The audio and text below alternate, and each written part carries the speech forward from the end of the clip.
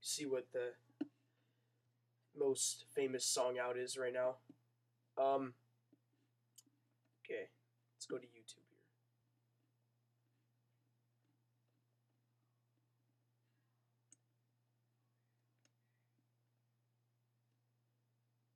Um, I don't know. It doesn't seem like there's any famous songs, but if you do want to download a YouTube video into an MP3 format, which I usually do, which is probably the easiest, is um, you go to search up Yontoo on Google Chrome.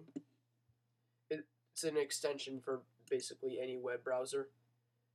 And so you go to downloads here. Then you click on which platform you have Mac, Windows, Linux.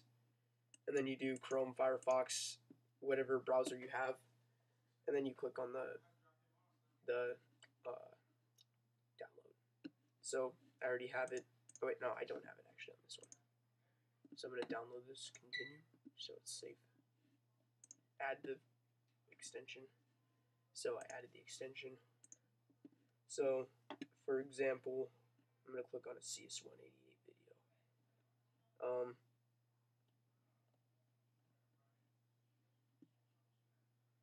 let's click on We Arrive at CS188's house.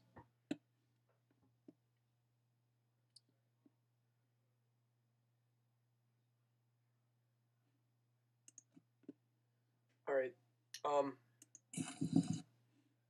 let me go to my extensions really quick.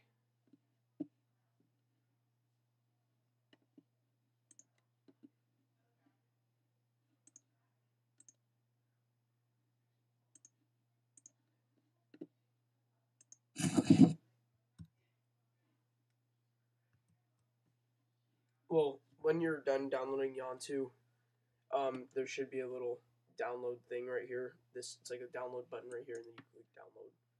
And you can pick which format you want it in. But um, I think I haven't enabled it yet. Yontoo.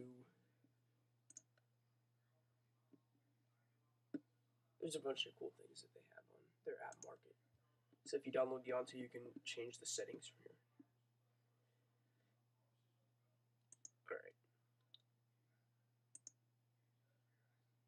Alright. Best video downloader. Enable app. App enabled. Exit out. First page should work. Hoping.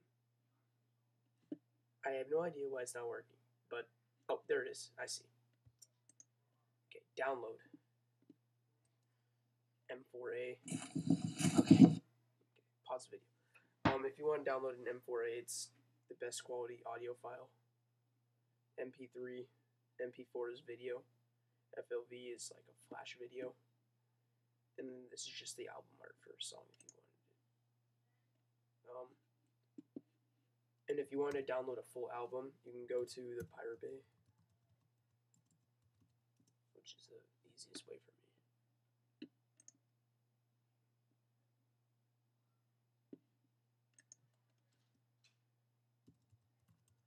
So you just search up an album, whatever album you want. Um,